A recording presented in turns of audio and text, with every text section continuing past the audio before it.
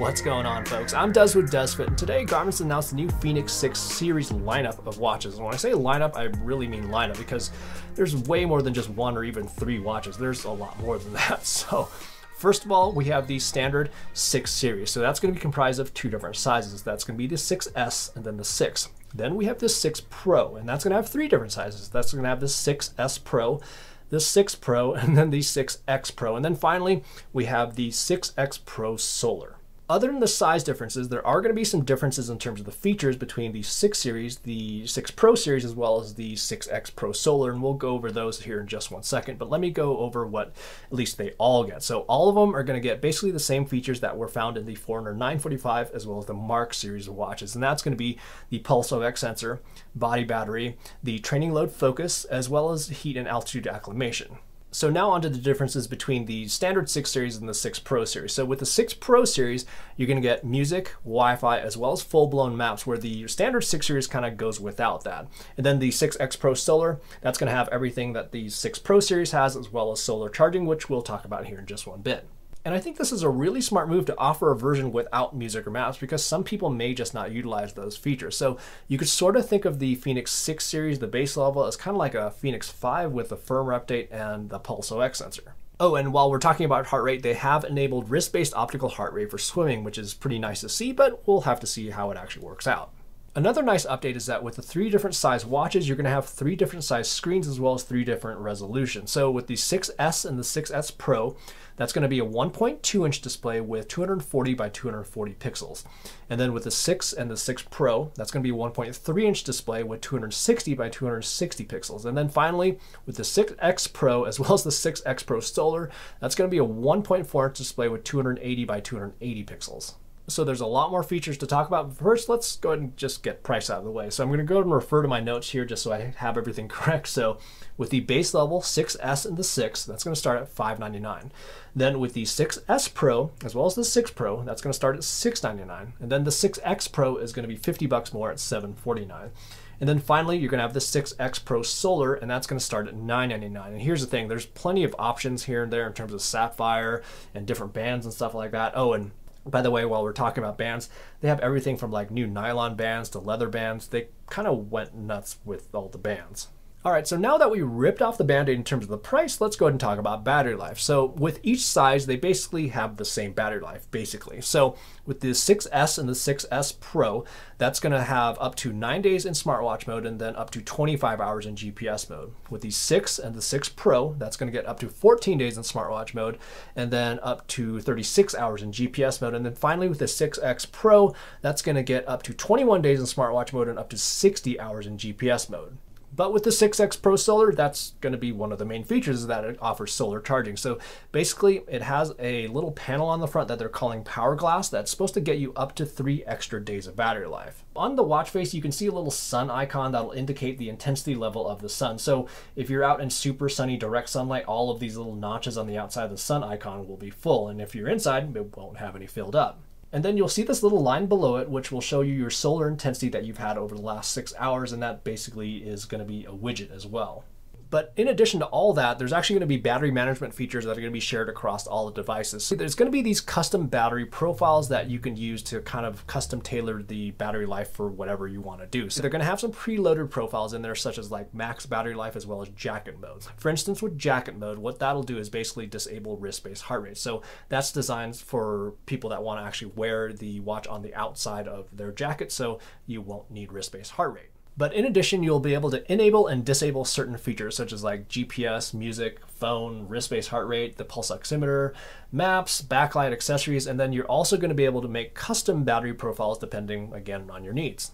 Oh, and there's also going to be this other thing called expedition mode that basically shuts everything off except for GPS, but it's only going to take one GPS point sample per hour. So that's going to extend the battery life even longer across all the devices. And then one last thing in terms of battery life is that all of the Fenix 6 series line of watches are going to be using the Sony GPS chipset, which is basically the same GPS chipset that's going to be found in all of the devices that Garmin has released this year, like the 945 and the Edge 530 and 830. So basically, that's going to improve battery life with a slight expense to GPS accuracy. Now let's go ahead and talk about maps, and these are going to be for the Pro Series since those are the ones that come with maps. So basically, the first one that you're going to get is going to be map themes, and you're going to have stuff like marine themes, high contrast, a dark map theme, popularity based, as well as ski resorts. But in addition to that, all the map models are going to come preloaded with 21,000 golf resorts as well as 2,000 ski resort maps just built into the watch. And then finally, in regards to the maps, there's going to be trendline popularity based routing directly on the watch itself. And you may have already seen this in Garmin Connect, but basically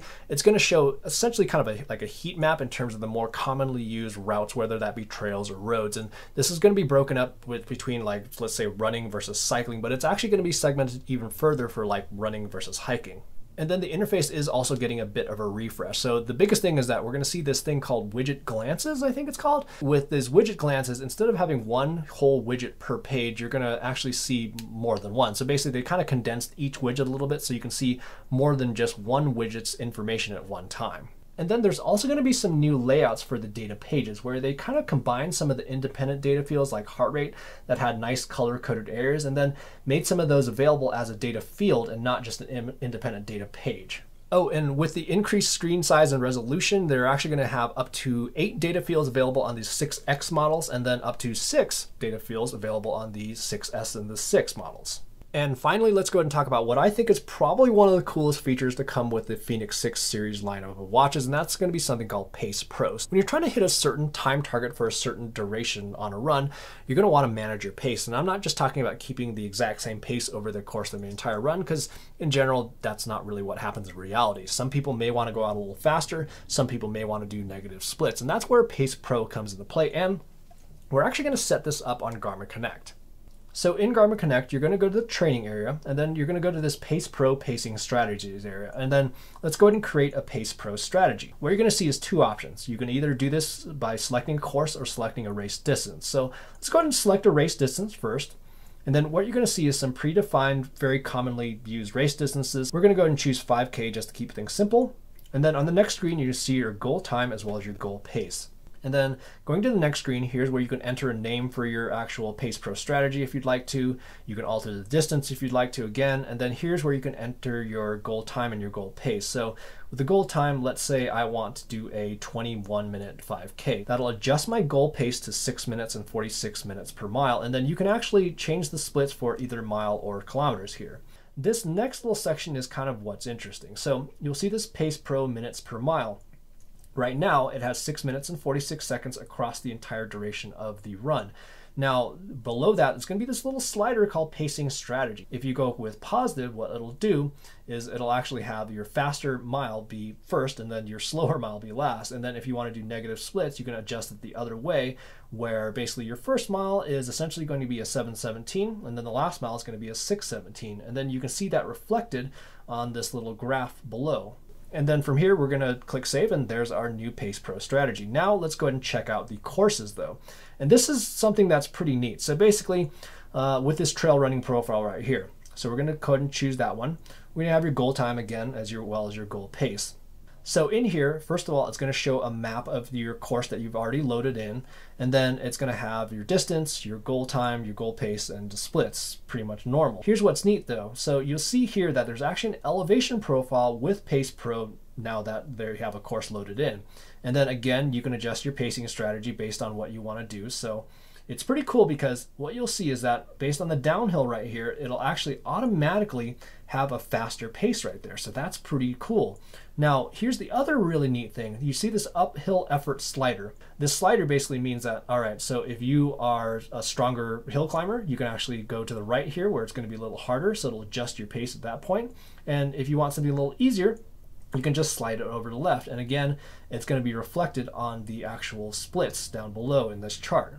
And then when you're actually doing your run, what you'll actually see is your target pace, your split pace, as well as your time either ahead or behind. So I think Pace Pro is going to be a really beneficial feature, especially in a race scenario, so you can manage your pace over the course of your run without having to have a piece of paper taped to your arm or even written or something like that. So I think this is a really neat feature. Alright, so that's pretty much everything new with the new Fenix 6 series lineup of watches, and I really like the fact that they made a non-music, non-maps version because I think there are some people out there that may not utilize those features so they can save a little bit of money. Now, I also do really like that solar edition, and considering I live in Colorado where there's a ton of sunshine here, I'm really eager to test that out, and I believe I should be getting my review unit soon. Oh, and on that note, make sure to subscribe to get a notification for my in-depth Fenix 6 review, and in the meantime, go have some fun out there, and we will see you in the next video.